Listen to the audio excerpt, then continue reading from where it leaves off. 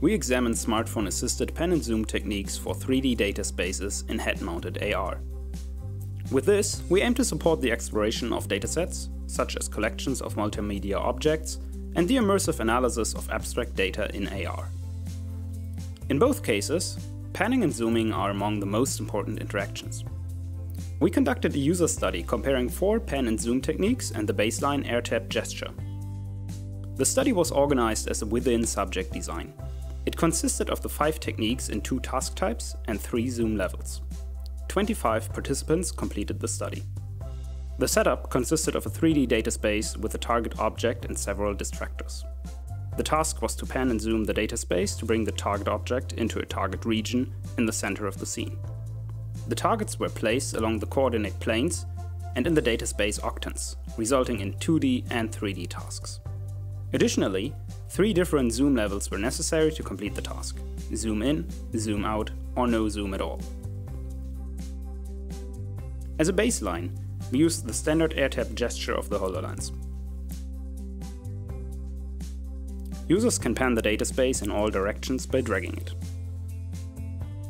With a double tap, zooming can be activated.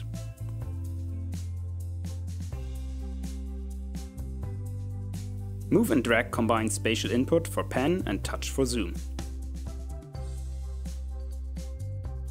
While this and the following techniques can be designed to only use the internal sensors, we used an optical tracking system for increased accuracy and easier logging. Move and rotate uses spatial input for pan and device rotation for zoom.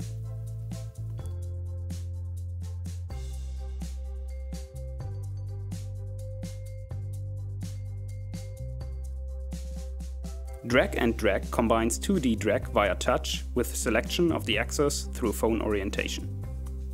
When holding the phone horizontally, the data space can be panned horizontally. Vertical panning is enabled by holding the phone vertically. A double tap activates zooming. Drag, rotate and drag uses rotation for panning on the y-axis and touch for the other axis.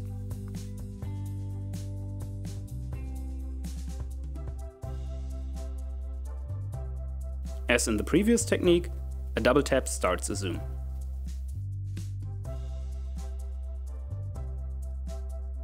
Our results showed significantly different task completion times for the techniques. Task type, zoom levels and their interactions also show significant differences. In general, results indicate that spatial device gestures outperform both touch-based techniques and hand gestures. For an in-depth analysis and more details on the results, please refer to the paper.